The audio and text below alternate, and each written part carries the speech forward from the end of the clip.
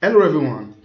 As a civil engineer, before you can analyze a structure like buildings, bridges, dams, highways, etc., you first need to know what you are doing. That is, you need to know what is structural analysis. So in this video, I am going to explain what is structural analysis in a nutshell. Basically, structural analysis is when we as engineers are determining the effect of loads on physical structure. That is when the structure is subjected to loads. Now, this is regardless of if we are talking about buildings, bridges, dams, highways, transmission towers, etc it doesn't matter. Whatever physical structures which we can see with our eyes, and if that structure is subjected to load, we determine how the structure will respond due to the load. Now, there are different type of effects we need to consider when analyzing a structure. The first one is support reaction.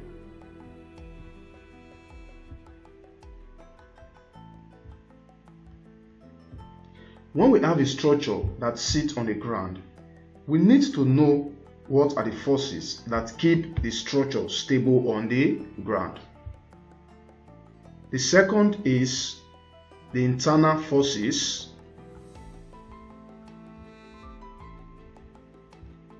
or the resultants.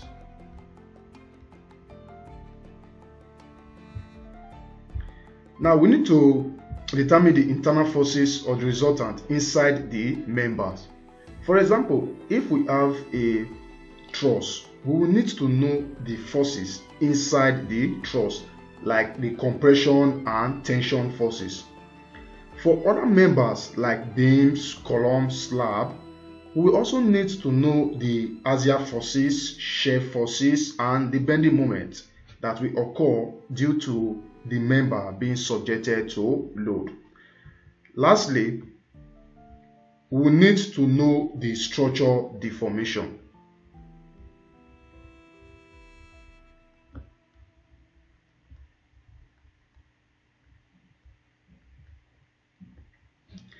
We need to know the structural deformation, that is how the structure will deform because any structure we apply a load to will deform. So we need to know how much it deflects and also how much it rotates. Now, what do we mean by the load which the structure will be subjected to? There are primarily two categories of load a structure will experience. The first category is the gravity load.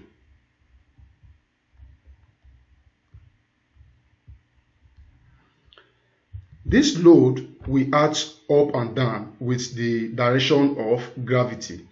And there are two types of gravity load. The first one is dead load.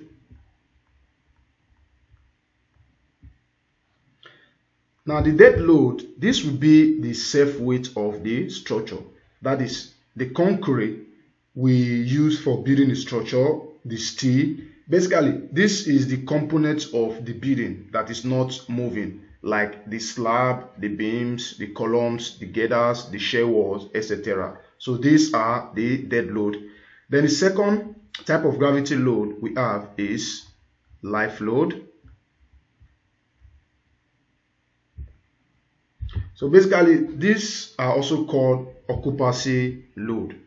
There are loads that move around in the structure like in a building, the people using the structure is going to be an example of live load.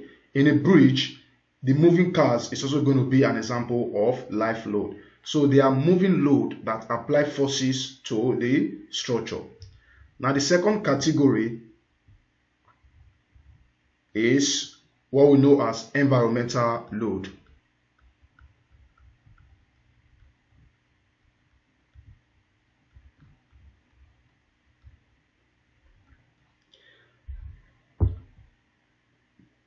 Now the different type of environmental load we have are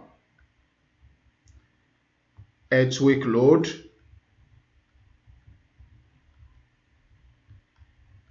we have snow load, we have rain load, we have wind load, we have ice load, and etc. So this load are really important for engineers to analyze when analyzing a structure because environmental load, most especially earthquake load, can cause serious damages to the structure. So we need to take the different type of load and their effects on a structure when analyzing a structure. So this is what we know as structural analysis. Now you know this, let's analyze a structure. Well, sorry, not in this video. It is going to be in future videos. Or you can watch some of my previous videos I made on analysis of beams and frame. So this is all I have for now. Before I leave, please don't forget to like and share these videos to friends and most importantly, click the red subscribe button to subscribe to Inno Tutorial.